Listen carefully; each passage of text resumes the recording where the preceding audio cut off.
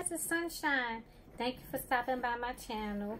I appreciate all of you guys. So um, I'm coming to you to do a project share that I created. So um, Elisha Crafty um, is hosting, well, she gave out a message to say that someone was getting married. Congratulations.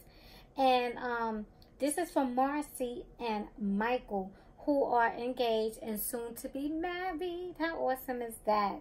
And so this is going to be a wedding card challenge.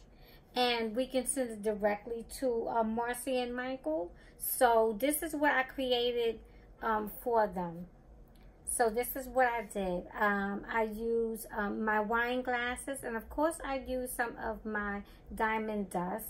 Um, this piece back here is a piece that actually my son sent to me in the mail because he sent me some happy mail and he actually sent me this die cut so I actually used it. It has like all of these swirls.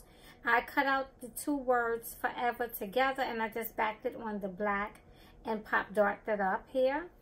And then I put some little uh, enamel dots on the bottom. Here I have bling on the end of each glass. And I did a black and white for man and woman. And then in the inside of my card, this is what it looks like, guys.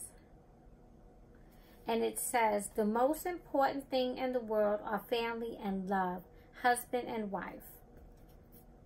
So this is what I use. And these stamps is coming from Crafter's Companion. But this is what my card looks like, guys.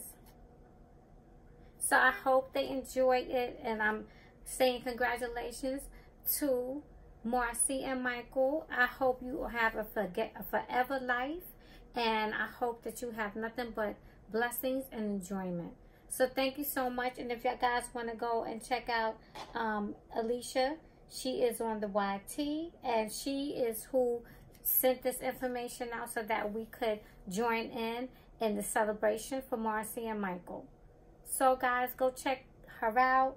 And thank you. If you look on um, Elisha's channel under um, the wedding challenge, you will see Marcie and Michael's address that's available to send these cards directly to them so that they can have some wonderful enjoyment coming in the mail. So thank you guys for stopping by and um, I'll talk to you guys real soon. Thank you.